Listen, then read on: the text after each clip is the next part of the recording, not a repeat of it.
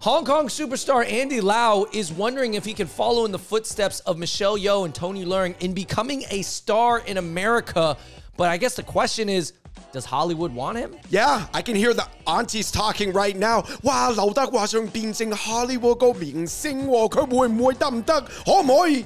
我好中意劉德華，劉德華。Anyways, guys, uh, this this video is obviously for people who are familiar with the Hong Kong movie industry and especially Andy Lau. Shout out to him. But uh, we're going to talk about it. So please hit that like button. Check out other episodes of the Hot Pot Boys as we discuss his possible career opportunities in America in Hollywood. And by the way, guys, our understanding of HK cinema and entertainment is not 10 out of 10, but we know something. yeah, okay? so leave your comments down below if you know more about this situation. Real quick, Andrew, something else that's transitioning from the east to the west is Smala. SmalaSauce.com right now. Get it. It's part Sichuan, part Sicily. A real truffle in there, unlike anything available on the market right now. Goes delicious on dim sum. Like we, I eat it with dim sum all the time. All the different dim sum dishes. It's delicious, guys. Made in America. Check it out, smalasauce.com. Um, Andrew, his quote at the Toronto Film Festival was, I'm prepared to enter Hollywood. But is Hollywood ready for me? That's kind of a funny thing to ask. Like, is Hollywood going to pick me? Going to let me enter it?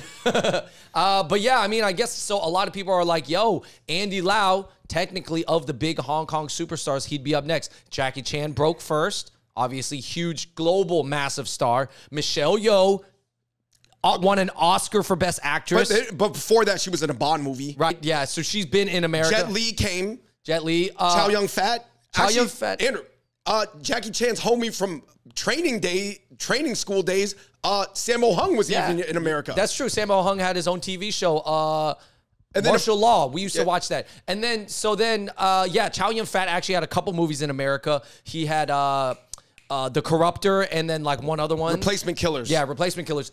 Um, and then, so I guess Andy Lau was like the next one up. Yeah, and you know, Andy Lau's probably thinking, you know, I was one of the main characters in Infernal Affairs. Infernal Affairs that became The Departed. The Departed, they just put Leo and then Jack Nicholson, and it became an Oscar winner. Well, I'm uh, sorry, Mr. Lau. I thought you were busy being a pop star in Hong Kong. You know, you seem to really enjoy it. So we, we just kind of let you do your thing. Um, what's the major difference between the perception of him and Tony Leung, who recently was in Shang-Chi, though? Yeah, so Tony Leung, he won a Lifetime Achievement Award from the Venice Film Festival. He's very, Tony Leung is very well respected amongst hipsters around the globe. Right, because of the stuff with Wong Kar Wai, right? Yeah. All the moody, moody And, cinematography. and I do think that uh, he is probably technically a better actor than Andy Lau. Mm-hmm. He's known to act with his eyes. He has that romantic flair to him. He has that hipster appeal. He has that Brooklyn appeal. Like literally, Right. like people who don't even like maybe eat Chinese food or uh, maybe may or may not like know who Tony Leung is because Yeah. they respect the movies. I, I would say Andy Lau. It's hard to describe who we would be in America, but it's almost like uh I don't know. Like, I was gonna say a Harrison Ford or almost like a Tom Cruise type situation where they're a major big actor that gets a lot of money, but they just never had the hipster cred or like the super artsy credibility. Yeah, they're kind of in those normal movies, like action movies a lot, kind of just like general thrillers, things that are not going to Yeah. win him a Best Actor award. Yeah, well, in the 1980s, Andrew, when Andy Lau debuted, I guess he was more known as just a good-looking guy, but he sort of got himself to be a decent singer and an above-average uh, actor. But he was never known like for his like pure technical talent. It was Right. more for his looks. Yeah, I don't even know if his music. I mean, I, he has a couple hits, but like as far as his music, he's probably not known for being the most talented singer either. No, no, I wouldn't say so. To be honest, definitely not. It's more for the aunties. Um, there may be another aspect, Andrew. I feel like some of these older Hong Kong stars that were in Beijing making movies for a while, that system has tightened up on censorship over the last five or six years. They may be more thinking about like, oh, you know, I don't know if I want to just keep going over there. They might have another lockdown. You know, we got to go to LA. Yeah, no, I, I understand, man. Oh, yeah, dude. Also, Daniel Wu made it over from Hong Kong. Well, he's from America, went to Hong Kong, made it, came back to America and made it. So I think, like, he's looking at everybody, and I understand. I understand. I think Andy Lau is right in asking the questions yo, when am I going to get my chance at Hollywood and see if I can actually, like, cross over now? Right, but realistically, Andrew, he's not going to have the same range of roles available to him because uh, obviously, you know what I mean. In Hollywood, they're gonna have a completely different set of archetypes that he's able to play. What Right. do you think he could play? All right, so my prediction for Andy Lau, knowing kind of like the Asian talent pool of Hollywood, I think he can play a really, really good Chinese billionaire villain. Now, that's a character that's going to pop up in the future. And actually, Andy Lau just recently said he is more willing to play the villain, like he wants to. Yeah. And I think he can. He for a has- while, he would he didn't he was more like Tom Cruise. He always wants to be the good guy. in Hong Kong, listen, because he's a pop star and stuff like that. But I think he's got, if he wants to come to America, he's going to have to play like this evil Steve Jobs. Like, look at these pictures. He totally fits maybe an evil Elon Musk. And of course, I'm saying evil because it's probably going to be a Western movie. And therefore, he's going to be, you know, on the, on the antagonist side.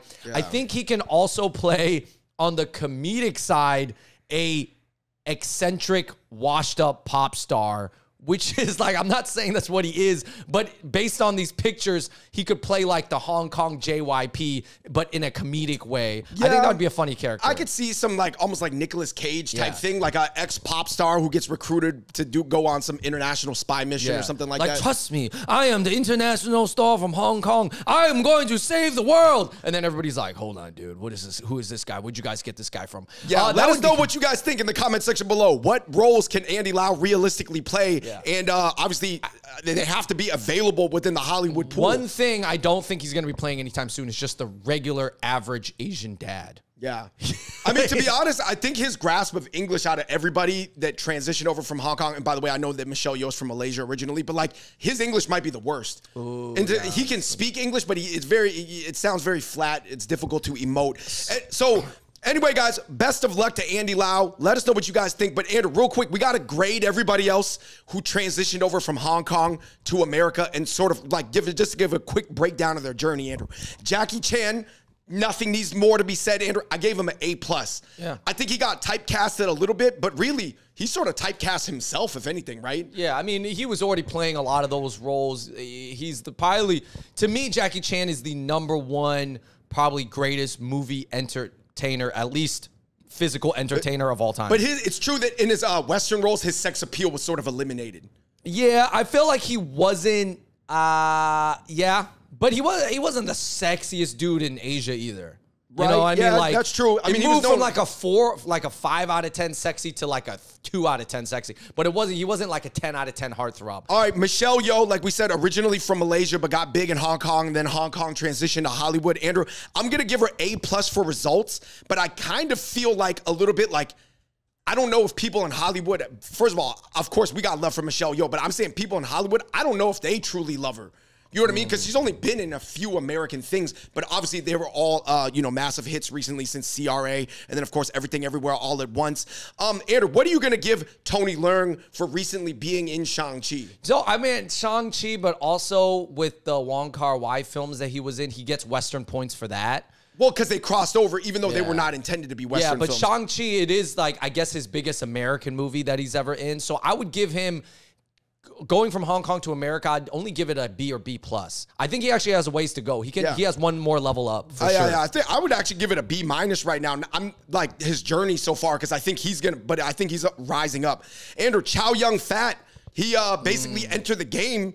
Dualies, he had dual pistols. He was in a bunch of John Yeah. Woo movies. We're talking about the Replacement Killers, the Corruptor, but he also had a acting acting role in Anna and the King, where he Mm. was actually playing uh the romantic uh, interest of Jodie Foster. Right, right. Oh, yeah, yeah, yeah. I feel like that he's kind of respected in the West a little bit. I'd give him a B because I think that he had his moment.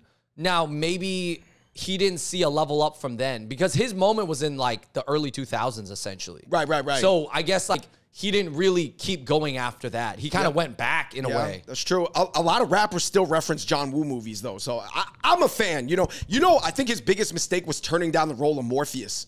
That was originally supposed to go to Chow Yun Fat before That's Laurence crazy. Fishburne.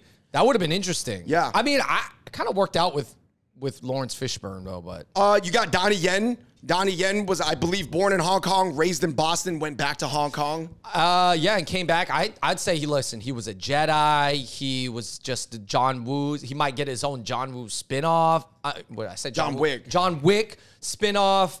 Um, people know Donnie Yen. I mean, as a martial artist, I'd give him an A minus. I think he actually has a little bit more juice to go, but essentially, I mean, people know him. Right, right, right. I mean, it's difficult to rank some of these guys that are like 10 out of 10 in martial arts skill, right? Because Chow Yun Fat and Andy Lau, they don't fight. Right. So that does These guys hinder- are not trained fighters, but Right, right. some of these, a lot of these guys, like Jet Li, a lot of people, Uh, I, I guess you could guess, Andrew, Jet Li used to win national championships for wushu in China before he became a movie star. Yeah. Moving on to Jet Li, I mean, he's this is like a hardcore martial artist. I would give his career a solid B plus. In America, I give it an A. You give it an A? Yeah, because he I, I had just multi- think, but I, I have, I thought his his peak could have even been higher. right, considering his level of English, because you know Jet Li's English is not amazing. Right. I would give it an A though, because he has had multiple movies to himself, and everybody knows Jet Li. That's true. It's really Jet Li. It's Jackie Chan, Jet Li, as far as name recognition, and then it goes Donnie Yen as far as uh, martial arts. Jay Z did shout out Jet Li before. Yeah. and uh, I mean, he came in what Lethal Weapon four. You know, he had the kiss with Aaliyah that got cut out. He was in Ocean's 11's uh, series, The Expendables, the stuff one, like that. He had the whole movie. The one Hero was actually still, even though that's a movie from China, that was big over here. yeah, yeah, that's true. Um, Andrew, moving on to Sammo Hung.